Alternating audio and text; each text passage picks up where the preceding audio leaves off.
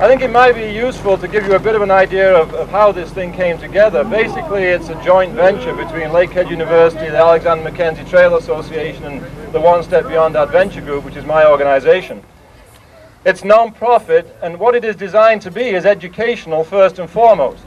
And what we're really trying to do is to, by reliving the journeys of a man like Mackenzie, to try to explain to modern Canadians just how important the spirit of adventure has been in our past. And I think we also need to realize that it was a team effort that first allowed this route to be pioneered, because it was the native people that showed Mackenzie the way, and it was the French-Canadian voyageurs who paddled the canoes, and it was Mackenzie, the entrepreneur, the visionary, who led the group, the immigrant from Scotland who came to this country.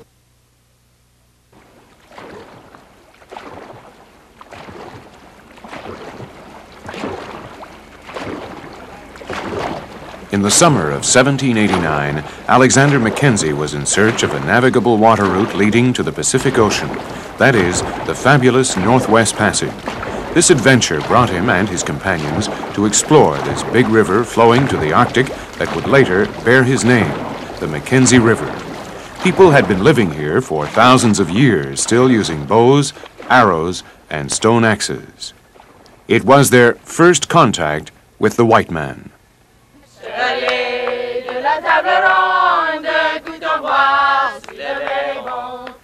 Coup d'envoi, oui, oui, oui. Coup d'envoi, non, non, non. Coup d'envoi, s'il le bel est bon. Coup d'envoi, oui, oui, oui. Coup d'envoi, non, non, non. Coup d'envoi, s'il le bel est bon. Préparez. We're going to Fort Chip. En avant.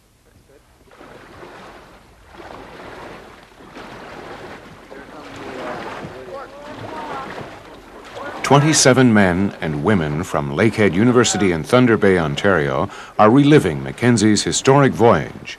In the communities they visit, they reenact the time of the fur trade in songs, dances, and costumes.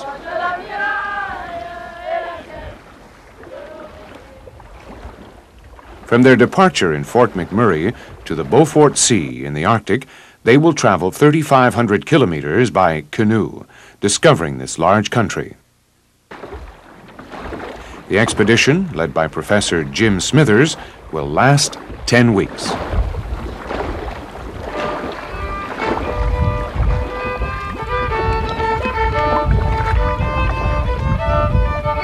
We are on the Athabasca River, where Mackenzie and a few voyageurs arrived in the fall of 1787. Mackenzie was on his way to replace Peter Pond, then in charge of a trading post owned by the Northwest Company. Pond was a Yankee from Connecticut. He had been the first white trader to cross Portage la Loche and to paddle down the Clearwater and Athabasca rivers. In this region, he built the first trading post, long since vanished, destroyed by erosion.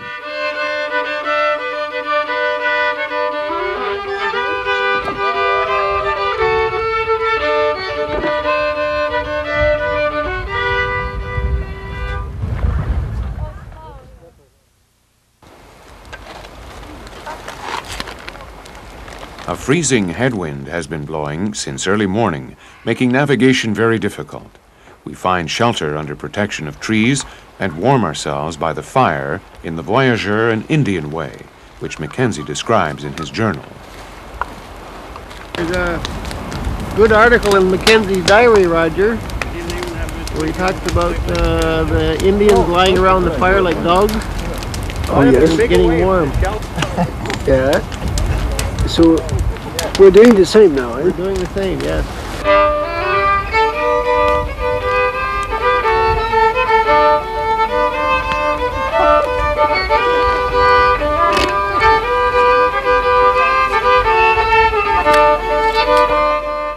During the winter after his arrival in Athabasca, Mackenzie learned a great deal from Pond.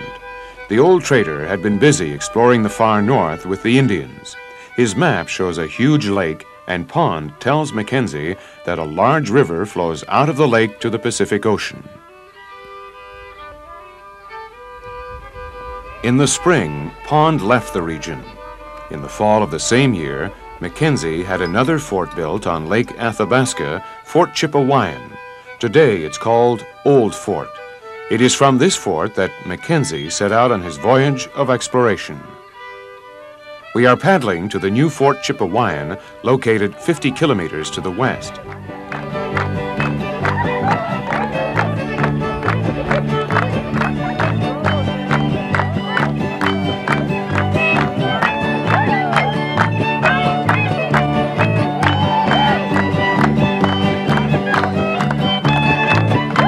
Frank Ladouceur is a Métis and a trapper. My language is Cree. That's the language I talk, Cree. Born and raised with that language. And uh, ma langue is uh, en Cree. Je parle en Cree. Parle en Cree, en anglais, en français, un petit brin. Toute ma langue, hein.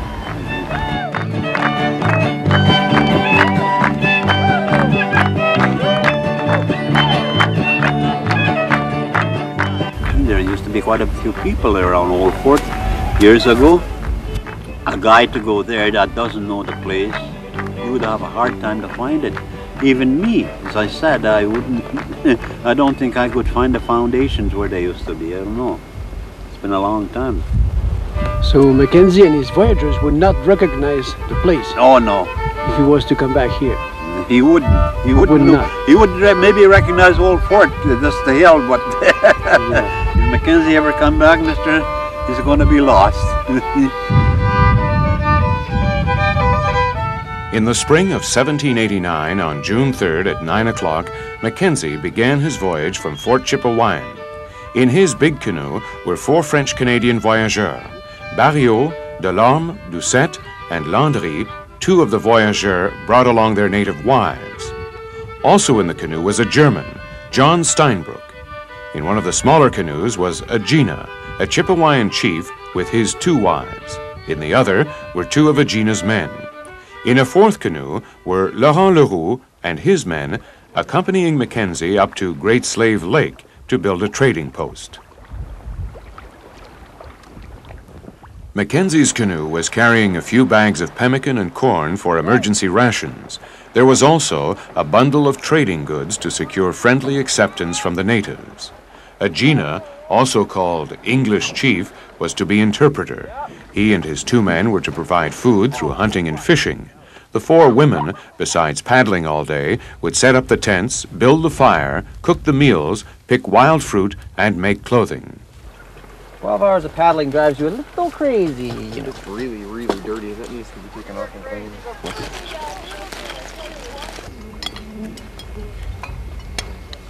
cleaned. You want the center or do you want to go groovy?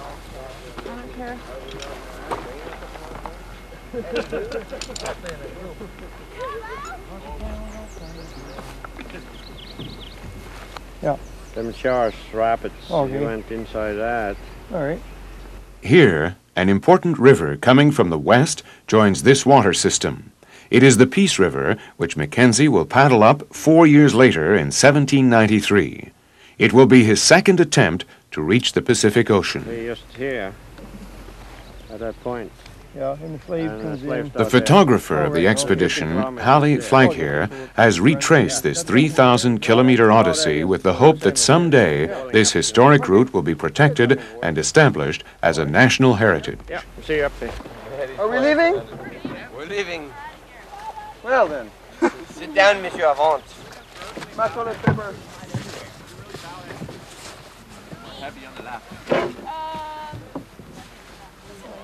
We're left heavy. Um, maybe the pack behind Andy.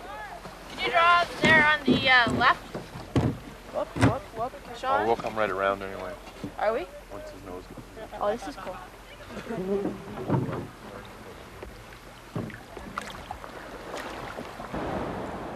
The Slave River Rapids. In Mackenzie's time, there were six portages totaling about four kilometers. Today, a road from Fort Fitzgerald to Fort Smith has replaced the portages. The canoes in our expedition are exact replicas of the voyageur canoes with one exception. The hull is strengthened with Kevlar, which is much stronger than birch bark. The native women, they would collect it. We didn't go out and collect it ourselves. The native women or native men would go out and collect it. Usually the women, because the men were out hunting. And uh, they peeled off the bar, uh, peeled off the tree in the spring. So we don't know how to swim. I sure don't want to drown. Not yet, anyway. No, the company likes it better. If we don't know how to swim, that means we'll care much more for uh, the packs and everything else. There'll be less chance of the canoe tipping. Because if the canoe tips, we know we die. So we make sure it doesn't tip. The last portage is still being called Portage of the Drowned in the memory of five voyageurs who died here three years before Mackenzie's voyage. happened right here. Nobody's ever been down there. It's pretty dirty water, very turbulent, but their guns are down there, their copper pots, all of the material they had to uh, travel down the river in the bottom of that hole right now. Right there. On whether uh, they retrieved any of the bodies or not, but this time of year it's fairly cold water. The bodies could have stayed down for a long time. And of course, uh, they had a job to do, establish a post on Great Slave Lake. So they probably didn't wait around a long time to find the bodies. And uh, I don't think there's a record of whether they found them or how many they found or what.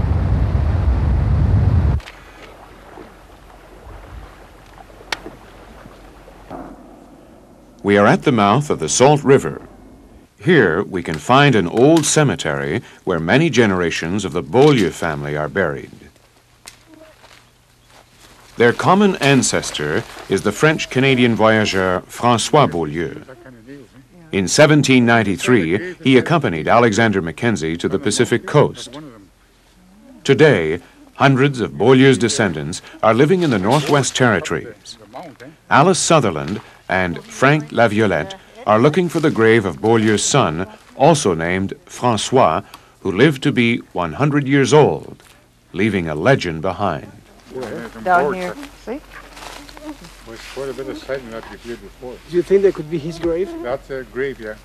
That's his grave. I don't eh? know his grave, but Beaulieu grave, eh? One of Beaulieu family. Oh, one of Beaulieu family. Yeah. This, this, this is only Beaulieu's graveyard. Any other native people die, they, they bury them across the Slave River. Oh. On top of a hill, there's a big graveyard for it. Non, non-Beaulieu. Oh. Why? I don't know. It was like a family graveyard. Yeah. Beaulieu had a lot of respect. eh? Oh, I'm just going to go over here and reflect. Thank you very much. Early this morning, we left Fort Smith, and now it is our midday break. Some people are trying to get some sleep, knowing it's going to be a long day on the water. Hey, oh, ah, brightness.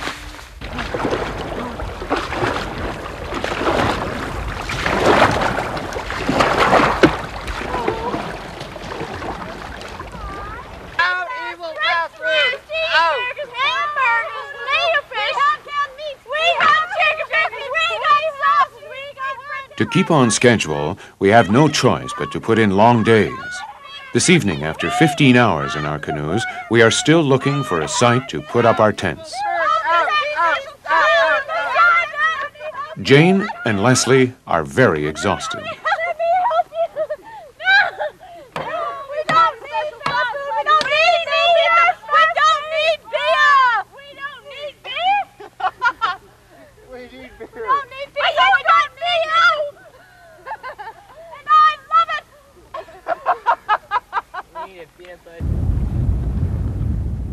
Great Slave Lake, the fifth biggest lake in America, was covered with ice when Mackenzie reached it. They followed an ice-free channel heading toward a small island in the east. On this island, Mackenzie and one of the voyageurs gathered duck's eggs. Here we found that the waters near the island are very shallow, as pointed out in Mackenzie's diary. We're Jesus! Woo! We're walking on water! Yeehaw! In the middle of a 500 foot lake.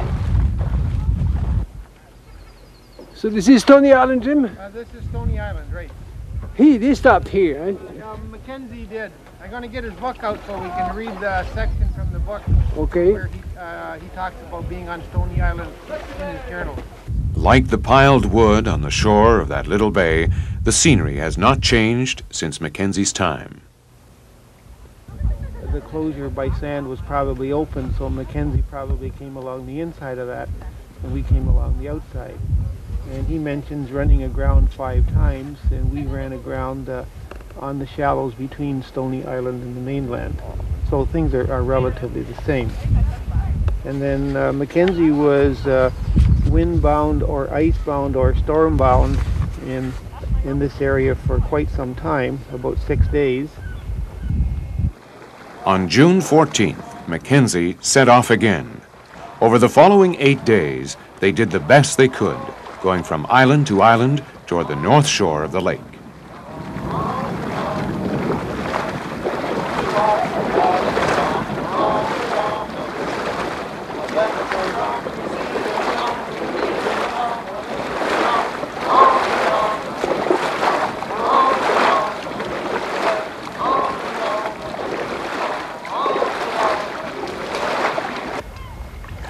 Mackenzie's canoe was also rigged with a mast and a sail.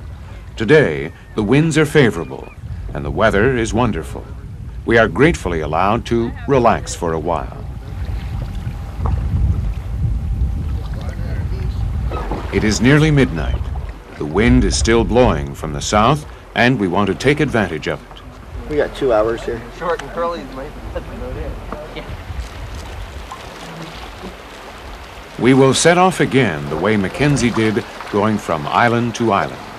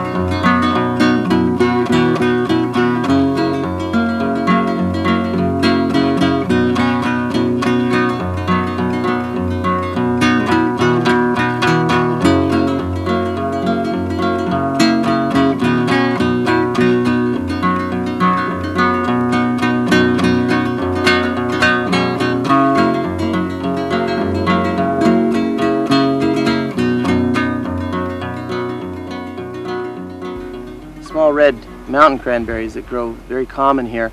And the Indian women picked these um, as part of the food that they would make uh, dinners of on the trip. At the mouth of the Jean River, there's a record of the Indian women that were with Mackenzie uh, picking these just before, these and wild onions, just before they left for the uh, Great Slave Lake. They're good? Mm-hmm. A little bitter, but um, similar in flavor to the swamp cranberries that you're used to having on Thanksgiving. There are a number of uh, interesting possible historic locations then. This particular spot, Mackenzie mentions uh, Caribou Island, where uh, they caught some, some, some reindeer. He also mentions uh, uh, caching some pemmican on a small island in this immediate vicinity. And the basic problem was, as you see today, uh, the line of ice along the north shore of the lake, which prevented them from uh, pr progressing on their journey.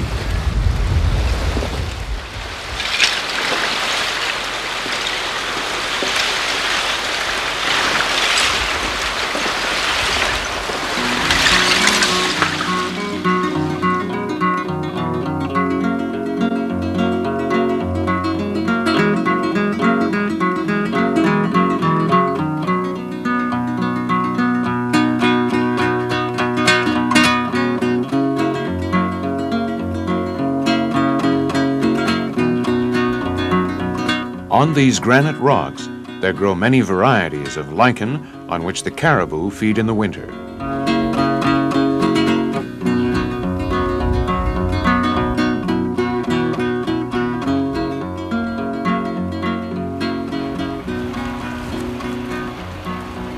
Oh, wild onions.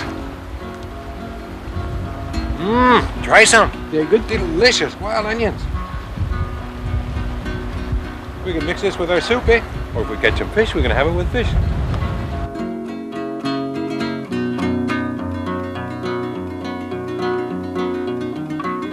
Mackenzie continued toward the north. We stop in Yellowknife, the capital of the Northwest Territories. John Blondin is a linguist and coordinator of the Dene In the Theater. olden days. And I will tell it in a story form as well as with some motion so that you can have an idea. Okay. The Dene. They're from the Northwest Territories. The western part. I'm Dene. And our clothes, they're made of caribou hide. Scraped in the sun. And then burnt over a fire. The smoke makes it brown. And it keeps us warm and clothes us. And we, the Dene, have lived all over the country. And we traveled by our canoes. And our canoes, they are made of birch bark.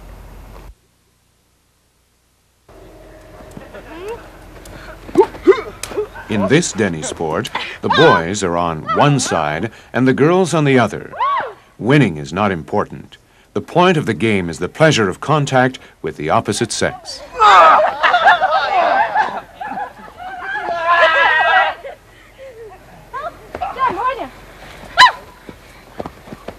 Yeah!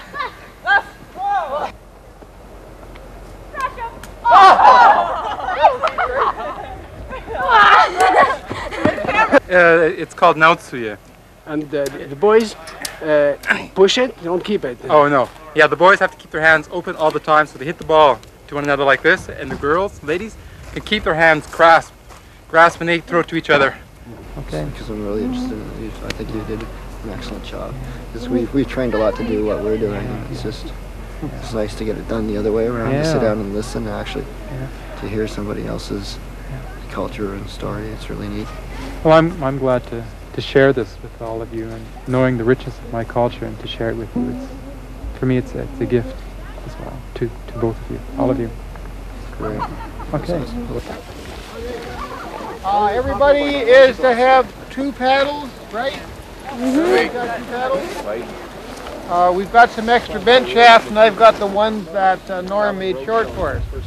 Did everybody put their own personal gear in the canoe and can guarantee that it's in the canoe? Oh, yes. Okay? If you don't have your personal gear, if you're short, you're on dishes and cooking for a week.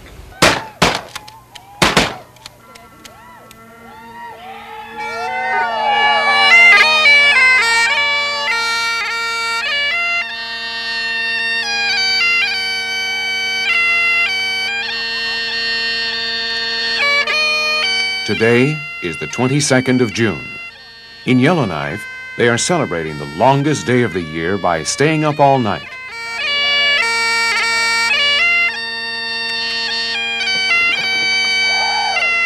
We celebrate the day by leaving at midnight.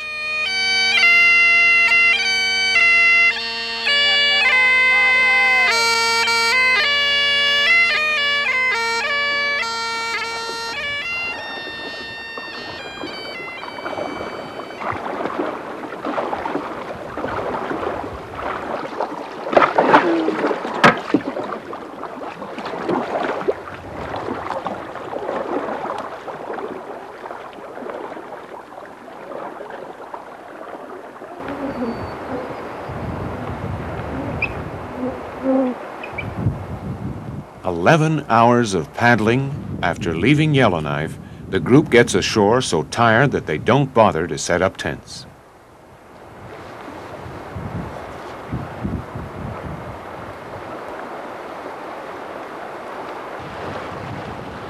Somewhere on the north shore of the lake, Laurent Leroux stopped at an Indian encampment.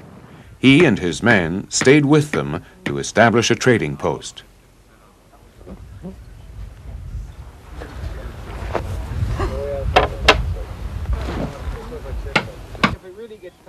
Here, Mackenzie and Leroux went their separate ways. They were given the traditional send-off. It was at this point that Peter Pond's explorations ended. Now, Mackenzie was to face the unknown. To direct him, he only had Pond's map and sketchy Indian information indicating that the outlet of the lake must be somewhere to the west. For a week, they followed the dangerous North Shore. Here, storms often force the travelers to stay on shore for days. Taking advantage of the nice weather, we go by night.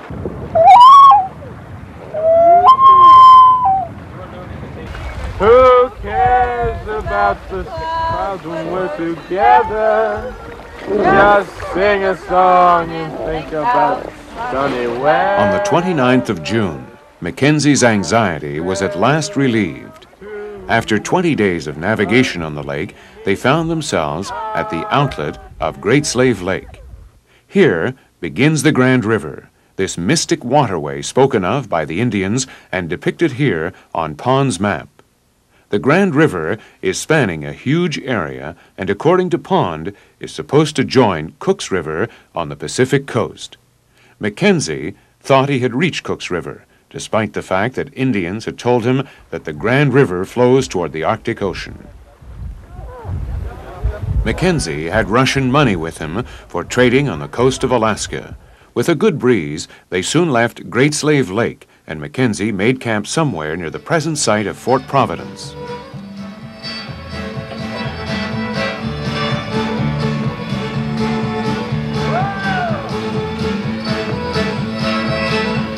Here, an arts festival is being held.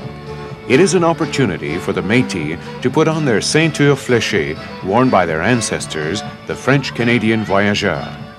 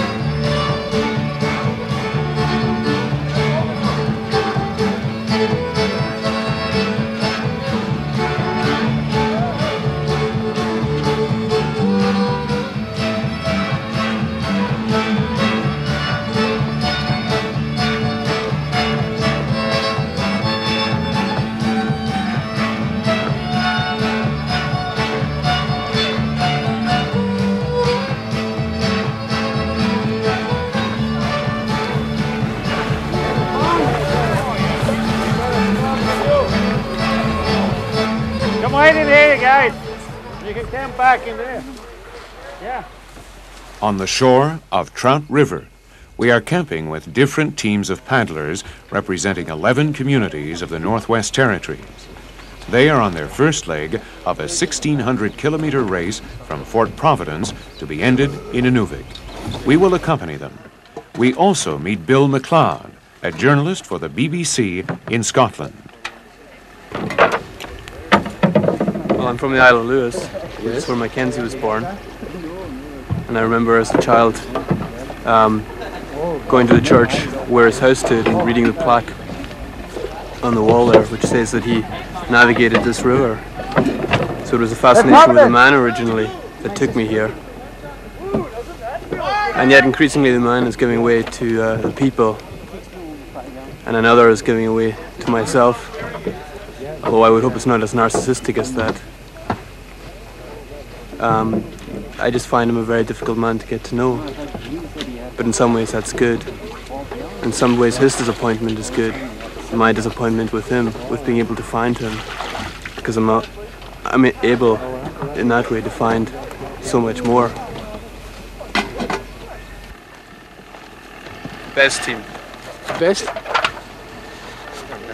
Bill is traveling with the Atlantic team, and he will later join us in our search for Mackenzie.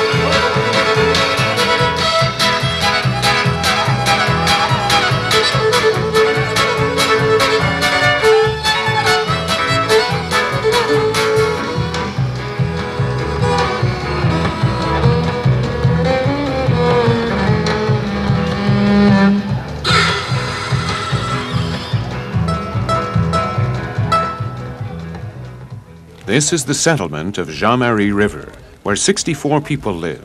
The natives and their chief, Ernest Hardesty, have had to work hard to feed all the visitors.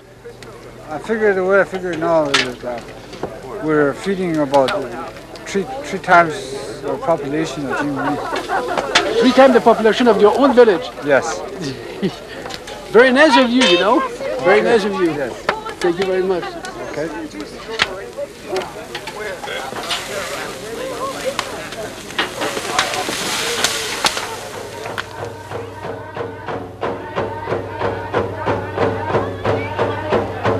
In Fort Simpson, the drums are beating like they did for Mackenzie two centuries ago when the explorer met the people of this land for the first time further down the river.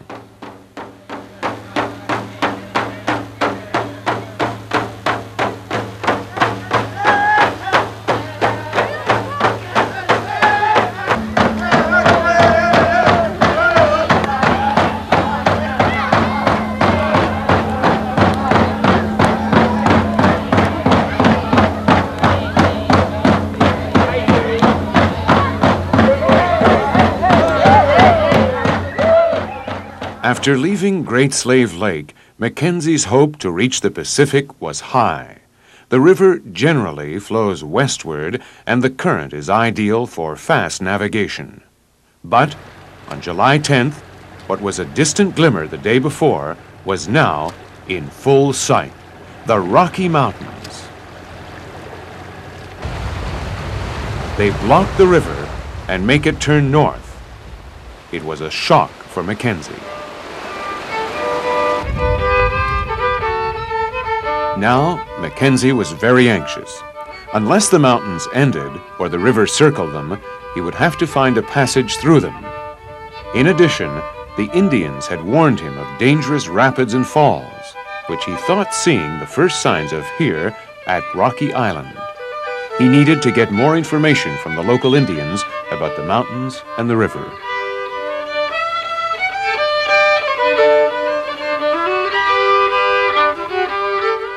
That night, their campfire illuminated the foot of this mountain. With two voyageurs and his Indians, Mackenzie ascended it.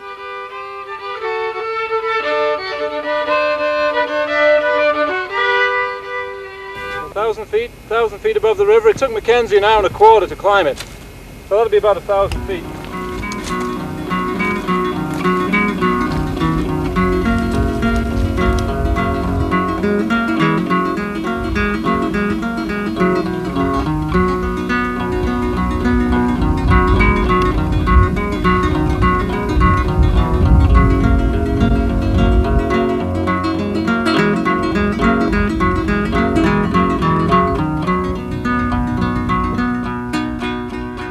From this vantage point, Mackenzie was hoping to see another river flowing west, but the surrounding mountains blocked the view. However, he had a good idea of the general direction of the Grand River. It seemed to flow northwest, and at this point, Mackenzie could still hope to reach the Pacific.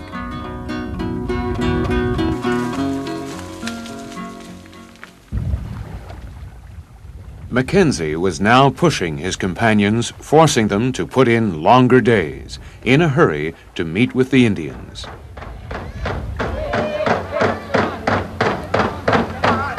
Finally, just upstream where Fort Norman stands today, Mackenzie met with them. It took much tact for Agena to make them approach. Agena conversed with them in the Slavey language, which is still spoken here in Fort Norman, and which, with the Chipewyan, Dog Ribs, Hareskins, and Loucheux, make up the five languages of the Dene Nation of the Northwest Territories. Here, Mackenzie learned from them that there were big falls further down the river and that there was still a long way to go before reaching the ocean. The Indians had heard of what they called a big lake owned by white men, but they did not know of any river leading to it. They also knew nothing of a passage to the west through the mountains.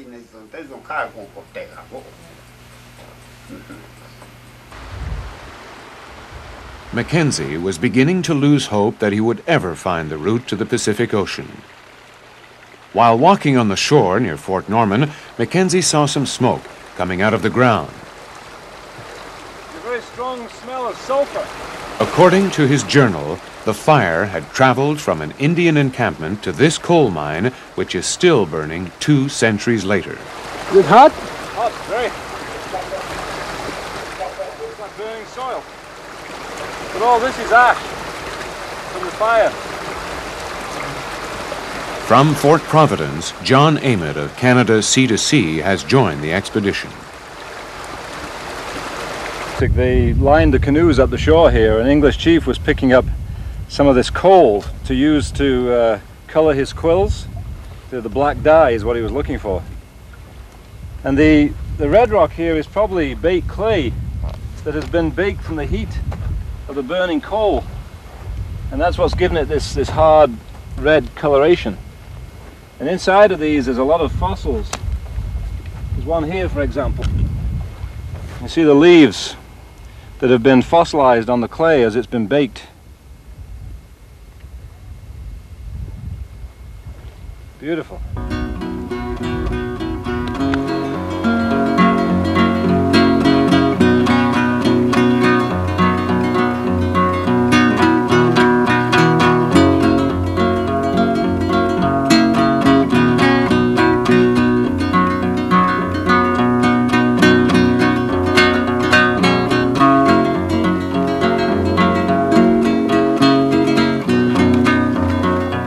When Mackenzie and his companions left this first group of Indians, they forced one of them into a canoe and brought him along to serve as a guide. That night, he was closely watched to prevent his escaping. Oh, look at the pretty trees!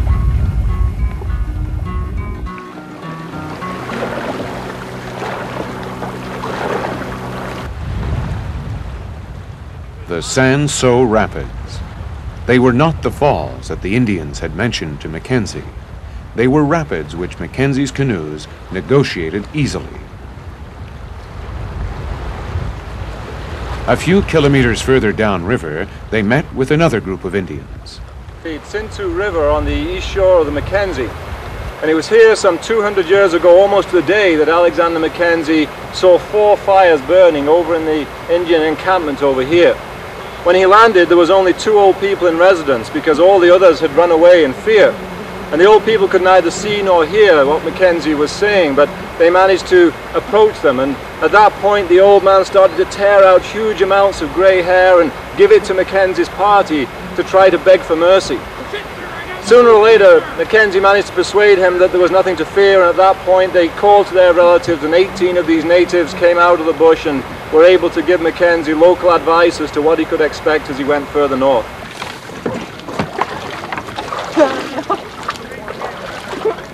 Alexander's men went through a lot of hardships. Hardships like this. Dump it on your head now, Phil. That'd be dramatic.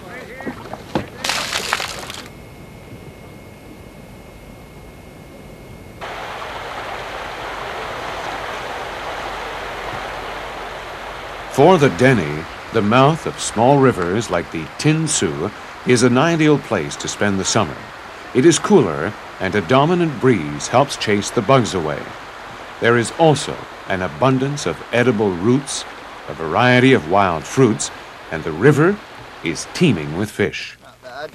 It's a northern pike. Northern pike? Yeah. Yeah. Yeah, it was a fighter. They usually a lot better than the other ones I caught so far. Oh, oh wait, wait, wait, wait, wait. She's not nearly as big, I don't think. No, that's just a little one. That's a little one.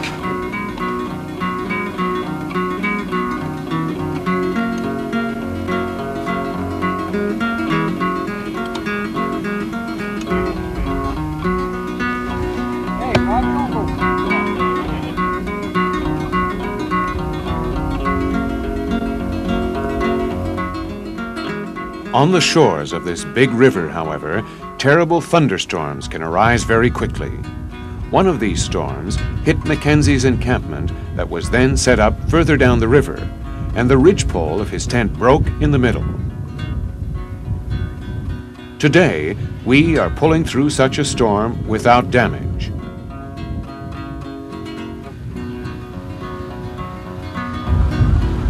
Our little tents are resisting owing to their flexibility.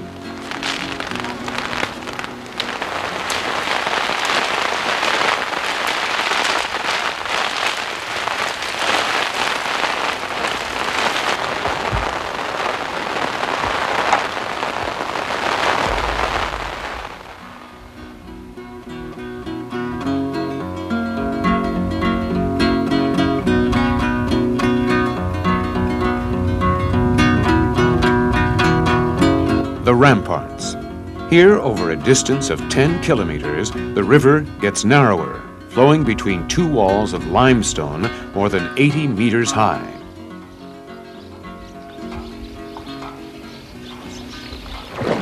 Mackenzie approached them with apprehension, fearing to confront the dangerous rapids mentioned by the Indians of the Tsintu.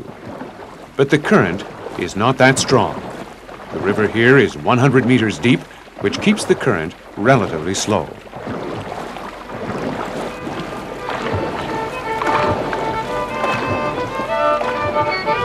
Further down, they came across another group of Indians from whom they obtained food again. Unfortunately, they knew nothing more about the river, nor of a passage to the west through the mountains.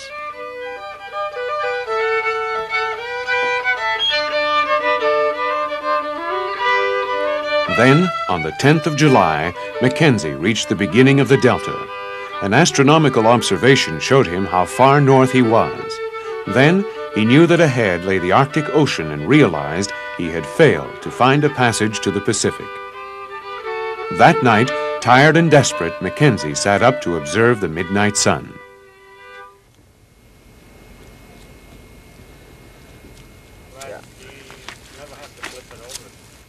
Okay, the time is 11.55 and the sun is still up.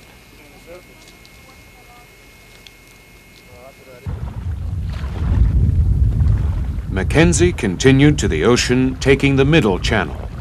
As for us, we are taking the east channel toward Inuvik. First prize to Aklavik, a wonderful performance by Aklavik, and here comes the captain for $25,000. Today in Inuvik, prizes are handed out to the three best teams in the race.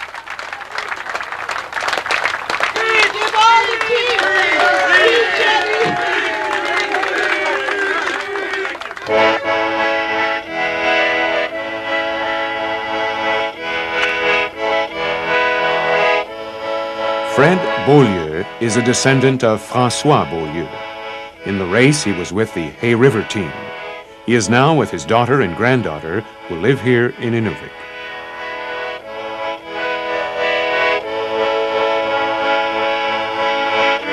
This sculpture represents the three races living in harmony in Inuvik. On top of the world, the Indians, the Eskimo, and the whites, from which Beaulieu's daughter and granddaughter are descendants.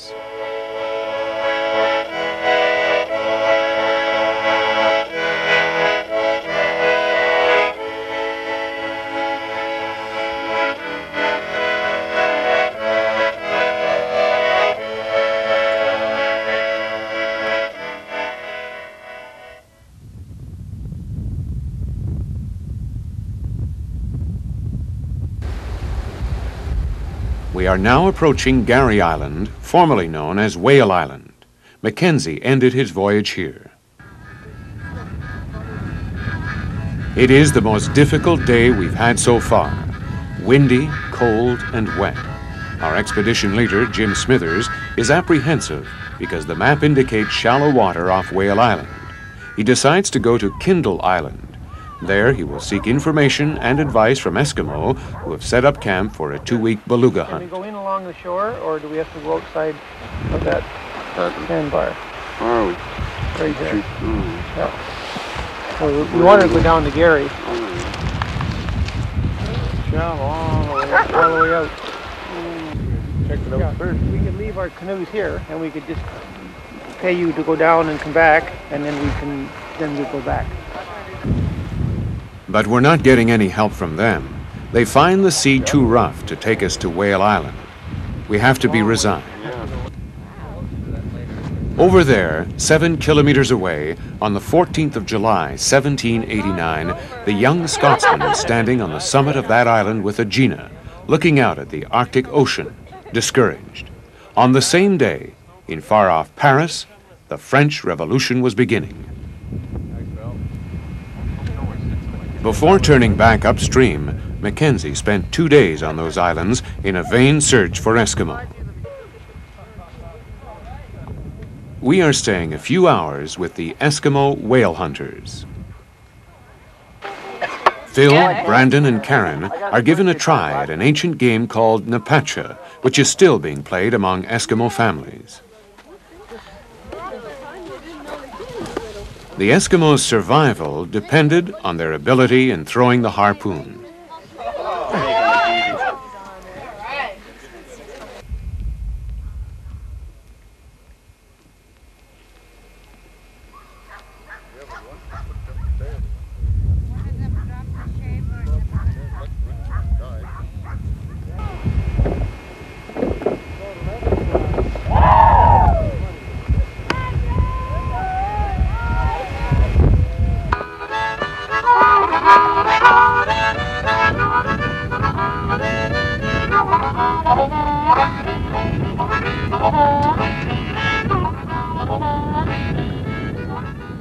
Have only three days to come back to Inuvik, 180 kilometers upstream, where we will take the plane. To get there on time, this last day of adventure will have required 22 hours of effort on the part of our paddlers. For Mackenzie and his companions, there were 3,000 kilometers to navigate before winter set in.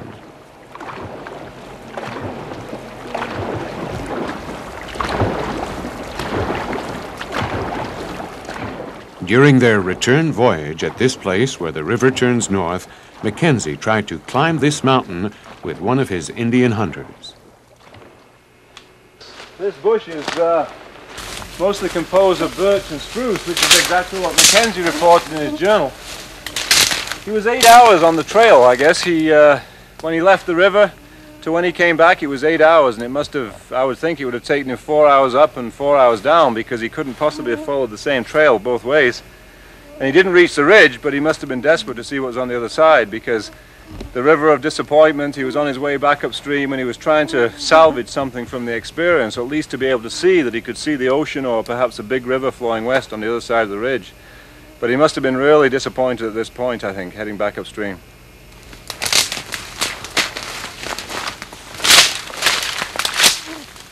Hard to hard to put yourself in a in a man's shoes who's committed so much energy to going down that river and all of a sudden now he's on his way back having been defeated. And he still has a long journey, perhaps another two months going upstream against a strong current to get back.